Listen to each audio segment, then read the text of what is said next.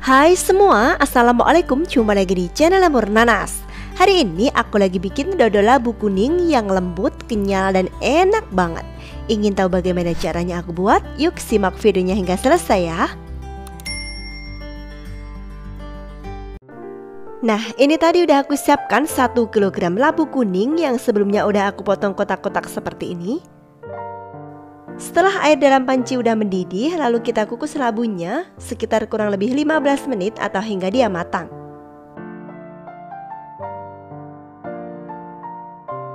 Sebelum diangkat, tes tusuk dulu. Kalau udah kerasa lembut, tandanya dia udah matang dan ini bisa kita angkat. Selagi labunya masih panas, langsung aja kita tuang ke dalam wadah, kemudian kita haluskan.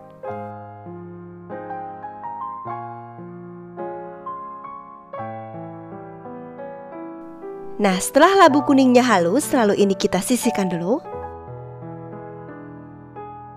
Selanjutnya, kita rebus dulu 300 gram gula merah. Dan aku tambahkan 150 gram gula pasir. 2 lembar daun pandan. 900 ml santan kental.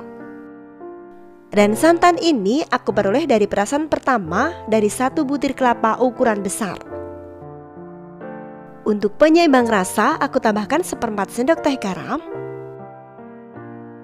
Kemudian ini kita rebus sampai santannya mendidih dan gulanya larut.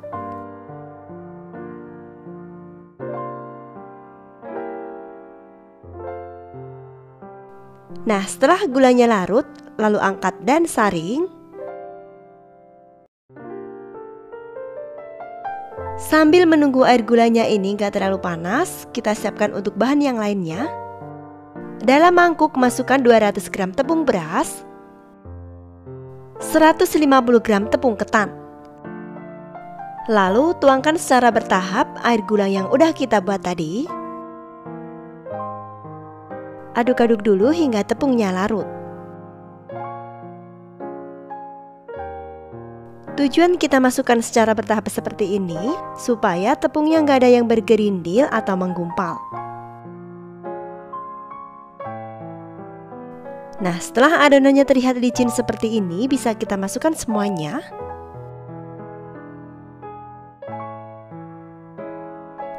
Lalu aduk-aduk kembali.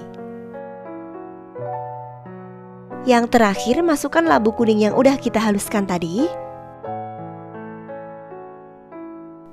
Kemudian aduk-aduk kembali hingga semua tercampur rata.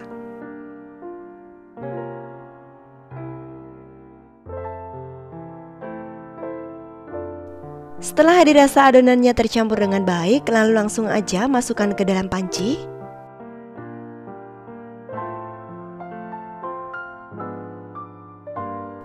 Sambil diaduk-aduk terus seperti ini, lalu masak dengan api sedang cenderung kecil selama kurang lebih 2 jam.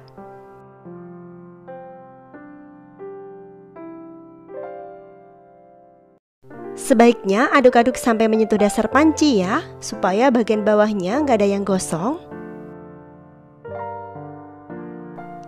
Nah ini dia udah mulai mengental.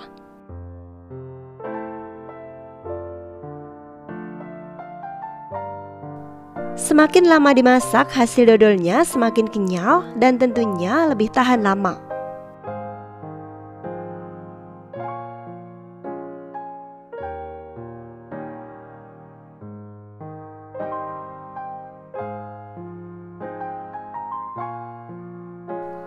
Nah ini dia dodolnya. Setelah 2 jam aku masak Dia teksturnya seperti ini. Dia semakin berat untuk diaduk. Kalau misalnya teman-teman ingin mendapatkan tekstur dodol yang lebih kenyal lagi Bisa ditambahkan ya waktu masaknya. Untuk tempat naruhnya, ini aku menggunakan loyang dengan ukuran 20 x 20 cm Langsung aja kita masukkan ke dalam loyang dodolnya. Selagi masih panas, langsung aja kita ratakan. Dan ini akan aku diamkan semalaman di suhu ruang, kemudian keesokan harinya akan aku potong-potong. Setelah keesokan harinya, ini akan aku keluarkan dari loyangnya. Lalu dodolnya ini bisa kita potong-potong sesuai dengan selera.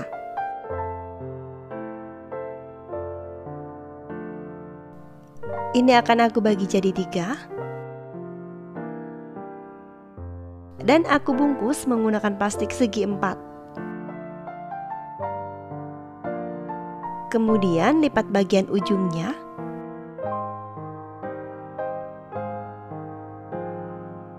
lalu sulut menggunakan api lilin. Langsung aja direkatkan. Begitu juga dengan sisi yang lainnya.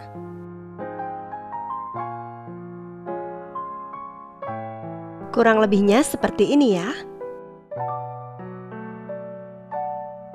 Dan begitu seterusnya lakukan hingga semua selesai.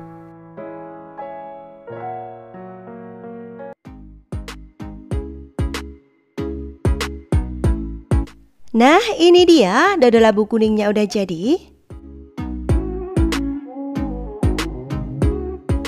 Aku coba buka satu.